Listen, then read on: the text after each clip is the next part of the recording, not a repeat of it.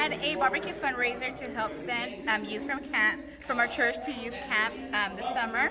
And we had um, a great time, and it was a very rewarding event. Yes, but before we share the final outcome um, of it, we wanted to kind of share with you the process of um, what happened to us while we were preparing for that fundraiser. Um, so it all started with an idea. You want to explain the idea? Um, our youth pastor announced that you know there's families that have more than one child and might not be able to afford to take to send you know all their children or any of their children to um, youth camp. So he's like, if y'all are anybody out there that can you know help sponsor a child, he you know was encouraging that, and so. Um, one of our members, um, her husband, um, had the idea of, hey, what if instead of using this money to sponsor one child, what if, you know, we do a barbecue and use this money to try to raise more money to sponsor more. So um, the, the cost of each ticket was $210. And he's like, I could use that $200 to buy chicken. Um, you know, do you think the ladies in your life group will buy the rest? And she was like, oh, you, sure. sure. You know, let me ask them. And she course, volunteered us for the potato salad, by yeah. the way. so actually, I volunteered her. Oh, but, she did. So it was me. But um, we um, we um, were like, yeah, we'll gladly um, do it. So well, and coincidentally, the sermon for Sunday or like the last few Sundays has been over what we call what pastors calling the "What If" series. So pretty much is to live. Um, well, I'm gonna quote, and he says, "Trading your if only regrets for God's what if possibilities." So immediately we were like, "What if?" we sell enough to send five kids to camp. And what if we know it changes their lives? So we were all pumped to do so. Uh, and so we're like that's it we're gonna sponsor five kids. Uh, without really none of us knew how to sell none of us had any experience with any of that. Oops, that's a blooper right, right that's a blooper so um, in the process, um, while we were doing that, the devil was just getting in our way. Um, one of the, the husbands lost his job. Uh, some people were just having a hard time selling. selling. No one wanted to buy. We were all supposed to sell 20 tickets. Some of us only were able to sell three. Some only able to sell seven. Seven. I sold 10 the 10 that I sold, I had the money stolen. So I was like, oh my God, God, what am I gonna do? I don't have the money to put out of my pocket. So we were kind of feeling that that clash of the devil trying to, you know, get in the way. But Pastor said, Pastor said, believe in God's word as if the problem is already resolved. And so we were like, we're going to still sell and send five kids to camp. Um, and so one of the things that really stuck with me, and I take notes, I'm kind of a nerd. Uh, I take notes during um, the sermon, but it was more, I should, I'm, where am I? Oh, right here, sorry.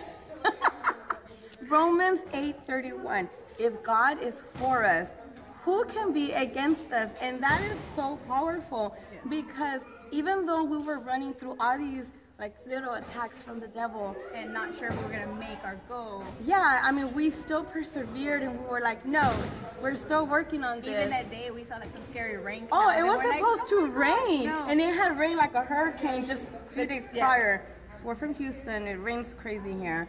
Uh, so just all these things, but we were like, no, if God is for us, who can be against us? And if it's a godly plan, and even if it's a big plan, bigger than what we're capable of, you know, God is going to pull us through. And He did, and we're happy to say that not only did we get to sponsor, well, our goal was to sponsor five kids.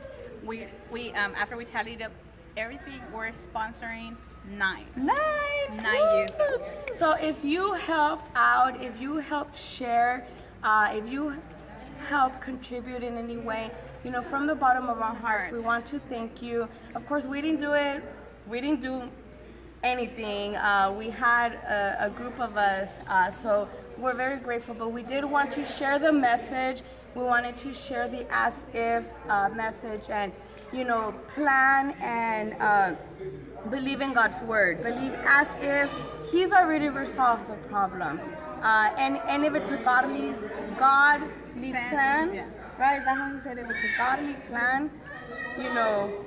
And if God is for us, who can be against us? So it's a very powerful message.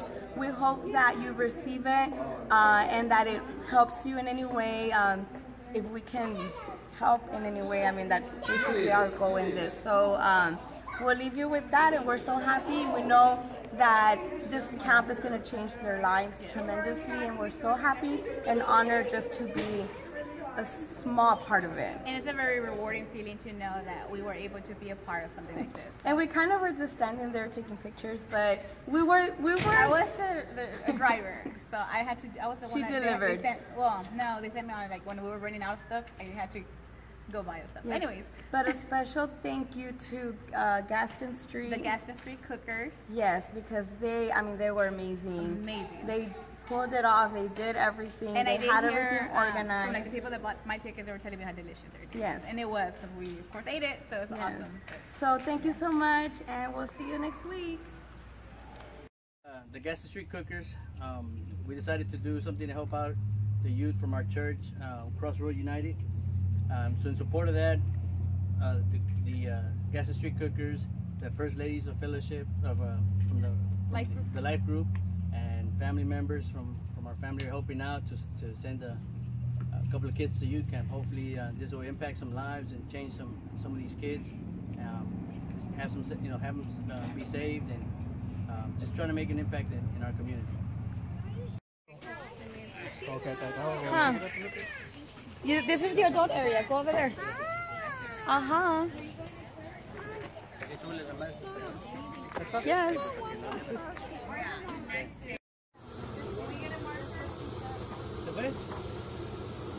That's really cool. That's how they start or keep the fire going.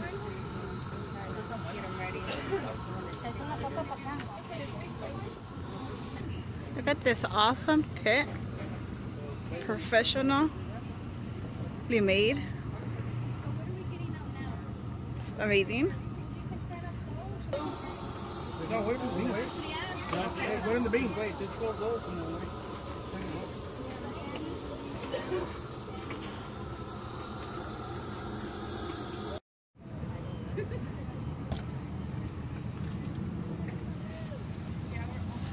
Wow.